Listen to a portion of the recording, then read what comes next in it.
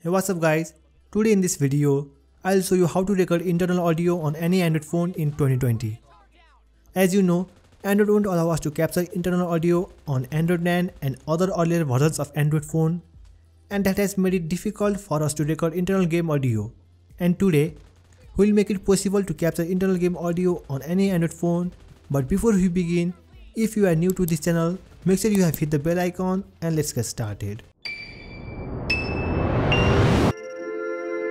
If your phone comes with Android 10, Google has introduced an API called Audio Playback Capture to capture the internal audio which was restricted in the earlier versions of Android.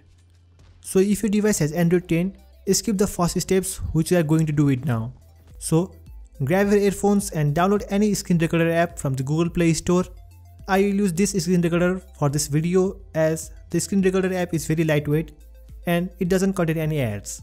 And make sure your earphone has the call button and if it has not then you will have to find an earphone which has the call button.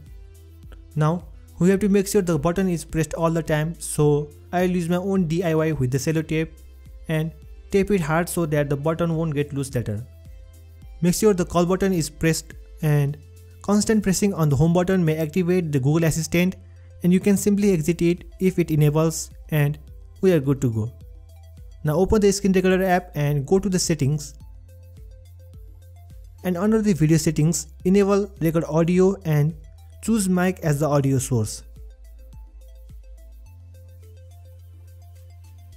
With this setting and the earphone with the call button pressed, you can record an internal game audio on any Android devices.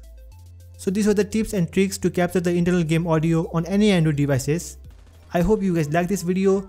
Make sure you have subscribed to our YouTube channel as we'll constantly bring this kind of content in upcoming days. And with this, I hope you guys have a great time. Bye bye.